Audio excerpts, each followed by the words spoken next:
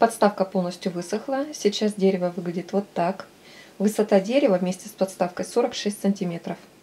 Сейчас саму листву я немножко скучковала. Вот так. Чтобы был свободный доступ э, к веткам, вот к этим местам, к основаниям веток. Вот к этим. И сейчас буду укреплять ствол. Ствол и ветки. Верхние ветки, вот эти и вот эти, буду укреплять э, папье-маше. Для этого мне нужен клей ПВА строительный и самая дешевая туалетная бумага. Прям вот эти верхние ветки я трогать не буду, начинаю вот с этой ветки. Просто беру кусочек туалетной бумаги, небольшой, просто э, отрываю его, не отрезаю. Окунула кисточку в клей ПВА. И разглаживаю.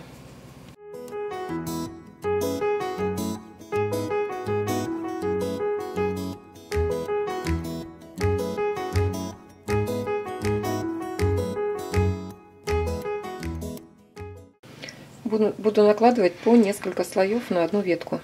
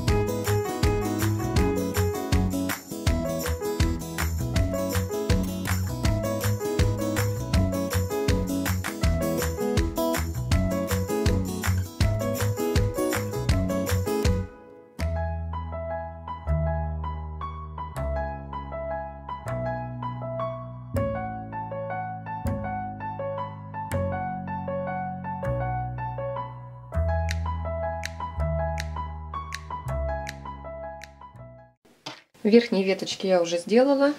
Туалетную бумагу накладываю в 5-6 слоев. Дальше буду уже укреплять гипсовым бинтом. Вот я его приготовила. Вот так он выглядит. Покупаю его в обычной аптеке. Здесь этот бинт 15 сантиметров в ширину и в длину 3 метра. Хватает его на несколько деревьев. Отрезала вот такие кусочки небольшие и побольше. Вот этими маленькими кусочками я буду делать э, у основания, где ветки крепятся к стволу дерева. А это уже пойдет по стволу. И нужна холодная вода. Вода должна быть именно холодной, не теплой. Обматывать начну прям сверху отсюда, пойду вниз и вот эти веточки 4 захвачу и пойду по всему стволу также к низу. Бинт необходимо будет обмакнуть в холодную воду, окунуть и обмотать вокруг стола.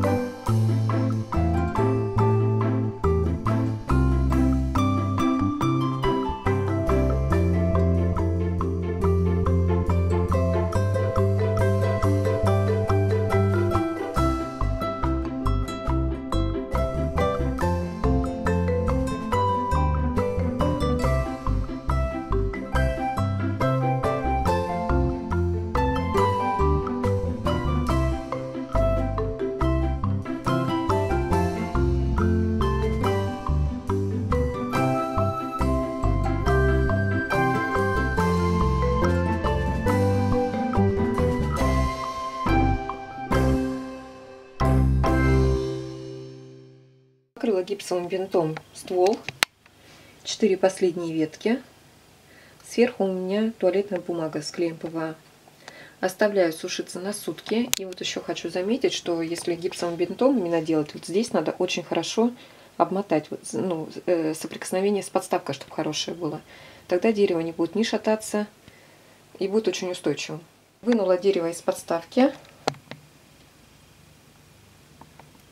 И сейчас буду делать смесь, э, которую буду наносить на ствол дерева.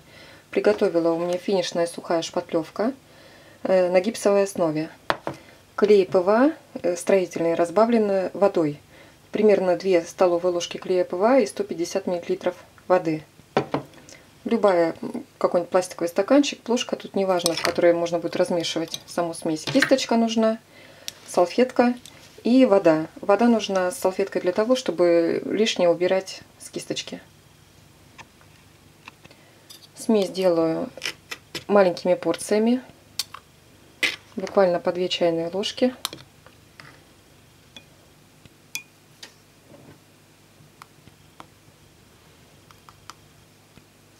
Буду разводить до консистенции густой сметаны.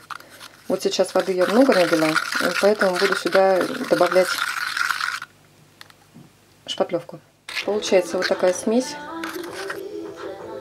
Не течет она. Наносить буду сверху, начиная вот с этих веточек и потихоньку спускаться вниз. Сами вот эти крайние ветки, верхние ветки и вообще везде я наносить смесь не буду. Только на ствол дерева и на вот это вот основание веток, которые крепятся к стволу.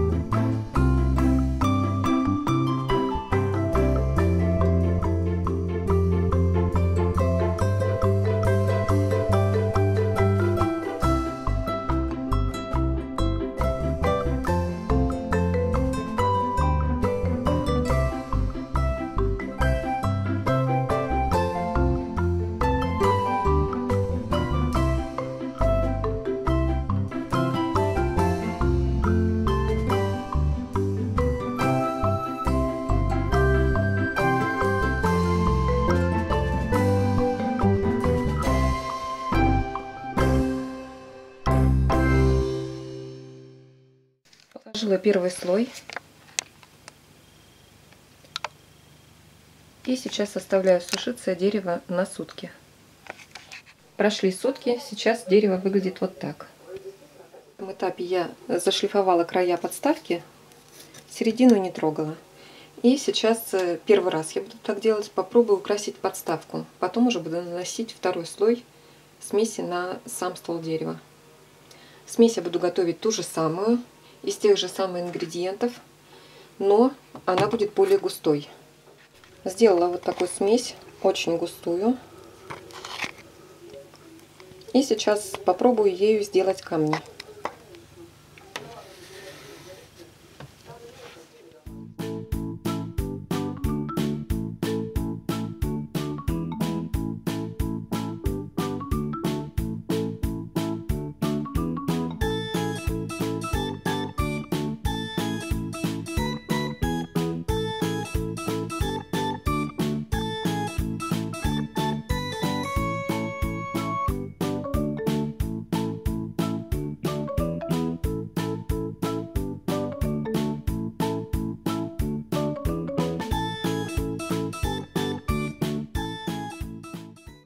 Кладу смесь и мокрой кисточкой, смоченной в обычной воде, немного заглаживаю камень.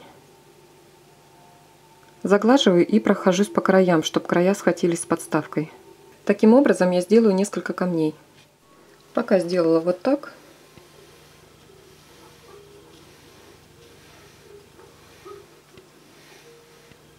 Далее буду делать имитацию травы. Вот на одном кусочке я попробовала. Для этого мне необходима та же самая смесь. Единственное, что я добавила в нее побольше шпатлевки и получила прям такую очень густую.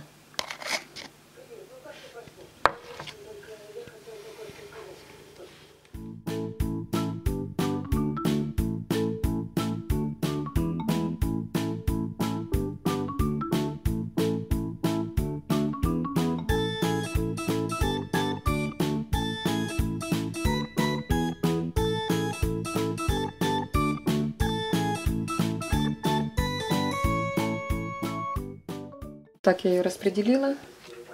Дальше беру кисточку с жесткой щетиной.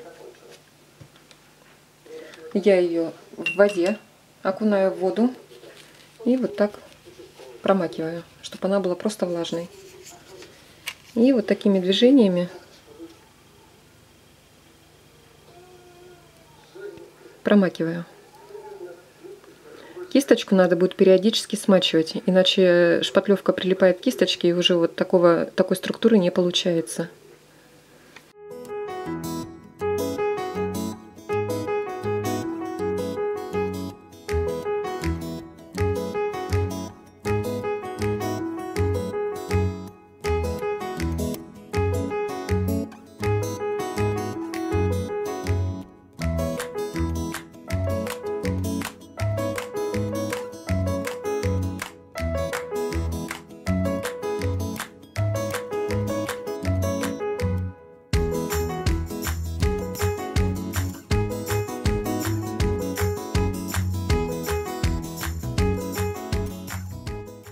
Покрыла всю подставку смесью.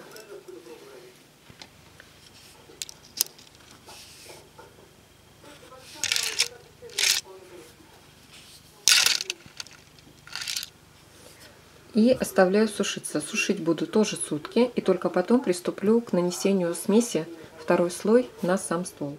Подставка высохла. Если камни внутри еще не просохли, так как слой толстый, это ничего страшного, так как буду сейчас наносить второй слой на сам ствол, ствол дерева и буду еще сушить сутки. Поэтому камни, камни внутри обязательно просохнут. Сделала точно такую же смесь, ингредиенты все те же самые. Не течет. И сейчас ее буду наносить уже снизу вверх, поднимаясь.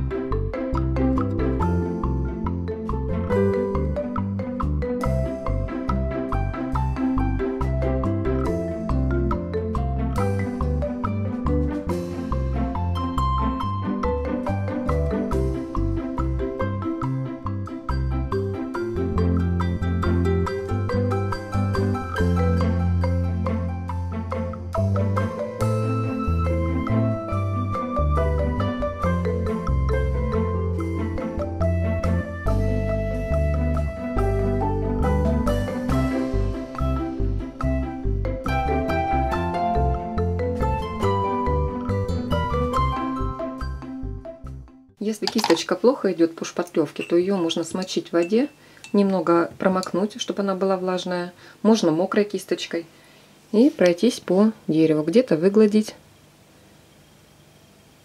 где-то сделать бороздки.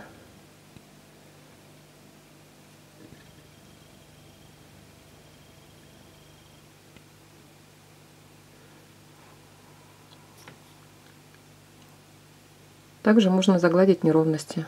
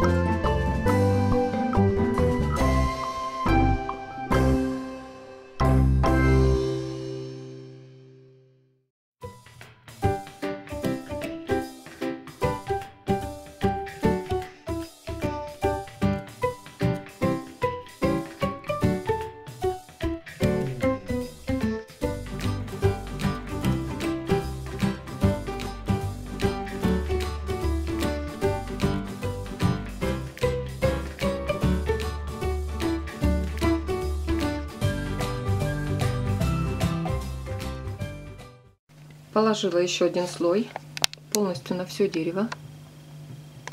Верхние веточки я тоже немного затронула, не очень толстым слоем, ну вообще не толстым слоем.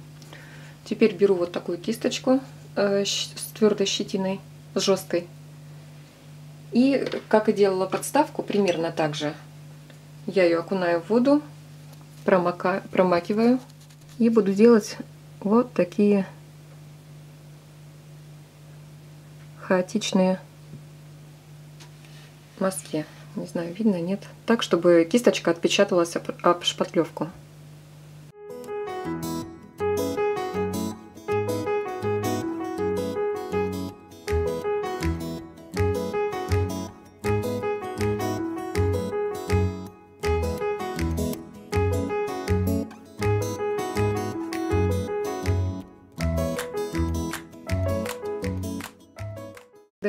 Лишнюю влагу, я ее вот так вот делаю, чтобы она была веером.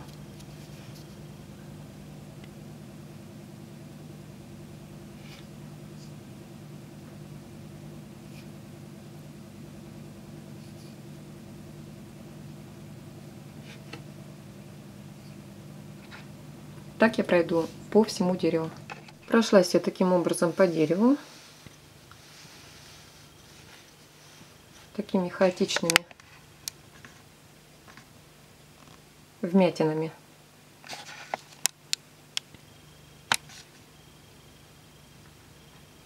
Оставляю дерево сушиться тоже на сутки.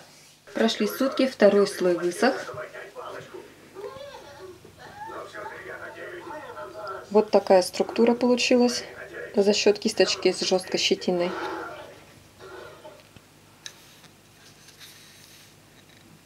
По стволу дерева я уже прошлась наждачной бумагой.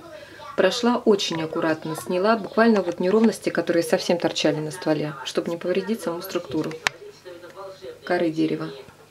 И сейчас буду красить. Начинаю красить дерево с одной подставки, с этой части. Положила дерево на мягкую игрушку. Красить буду вот такой краской.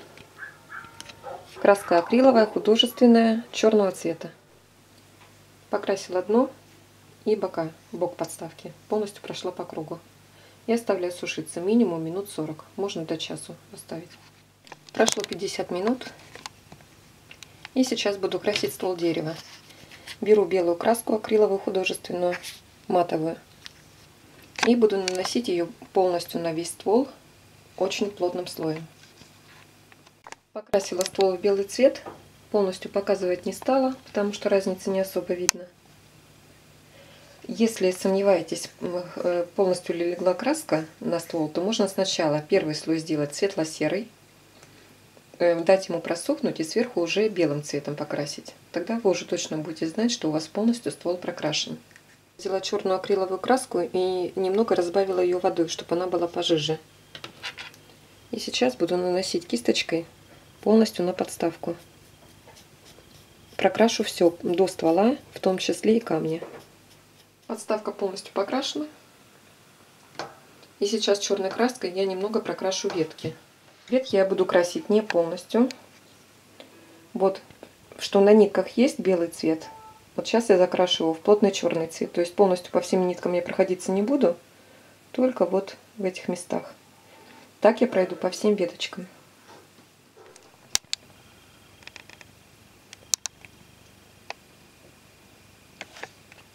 Краска полностью высохла, и подставка, и ствол.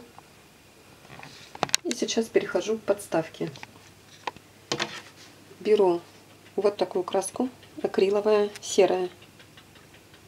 Кисточка мне нужна будет сухая, сухой щетиной. И салфетка.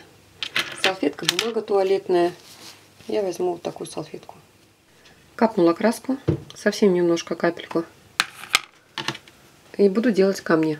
Вот на одном я уже попробовала. Пока буду наносить серый оттенок. Потом, когда высохнет, нанесу еще оттенок э, еще светлее. Возможно, белый, возможно, серый с белым смешаю. Там уже посмотрю. Немного совсем окунаю в краску и вытираю об салфетку.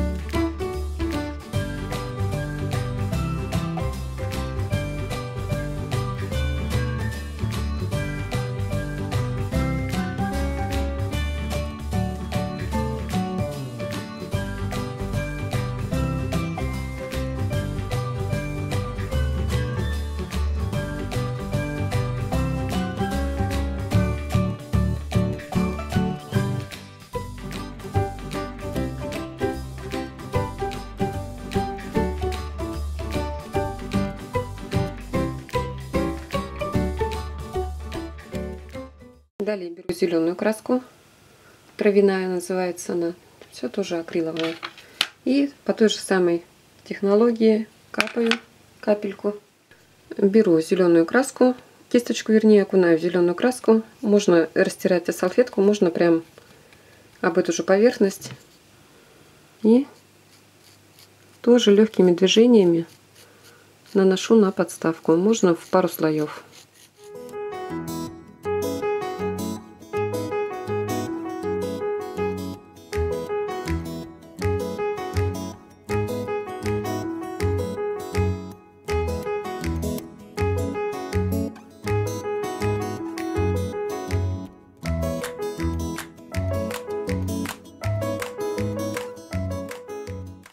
Покрыла всю подставку.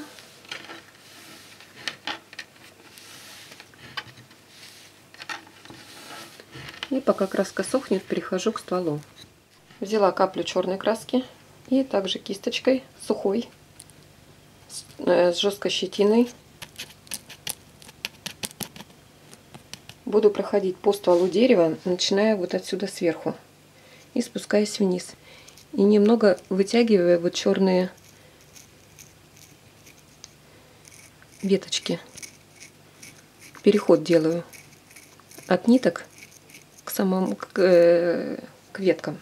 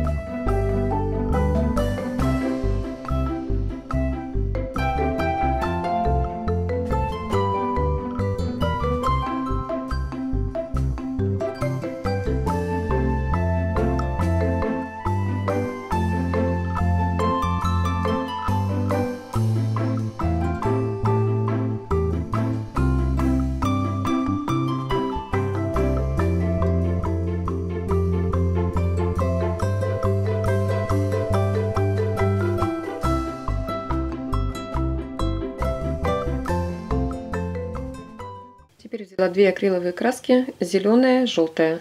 Вообще лимонная она идет по цветовой гамме. И вот так между собой их зацепляю и смешиваю. Снимаю заодно лишние с кисточки.